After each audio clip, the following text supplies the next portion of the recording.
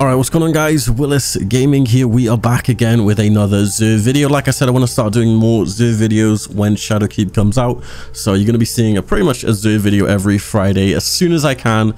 So yeah, I'm still giving away the emblem you see on screen right now. If you'd like to enter, just leave a like on the video, leave a comment. I'll pick a winner at a thousand likes and winner will be chosen in the next video. But yeah, let's take a look at what Xur has. He's on Titan at the rig this week. So let's take a look. Will he have another new exotic? So he doesn't. Um, he is selling the Chromatic Fire. Um, I don't actually have this, so I'm going to pick this up. He's also selling the Vigilance Wing, the Aeon Safe, and the Ophidia Spath. I think that's how you say it.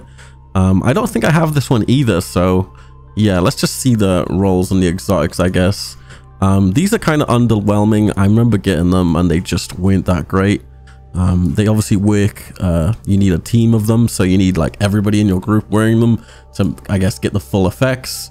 Um, obviously, he's got this, the Hunter chest piece exotic. Exotic perk, you get two knives per charge. Doesn't seem to have that good of rolls, I guess. Yeah, it's kind of whatever. Then obviously the chromatic fire.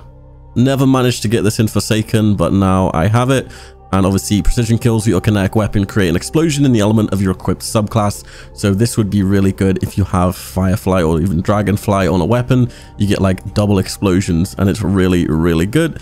Uh, but i hope you guys enjoyed this little quick video. Once again he is on titan at the rig um yeah hope you guys enjoyed remember to leave a like if you'd like to enter for that emblem giveaway it literally takes like two seconds and obviously if you're new to the channel be sure to subscribe as i'm going to be covering shadowkeep a ton we're going to take a look at Xur and stuff like that, seeing what weapons he brings. This has been Willis Gaming, guys. I'll see you in my next video, and peace.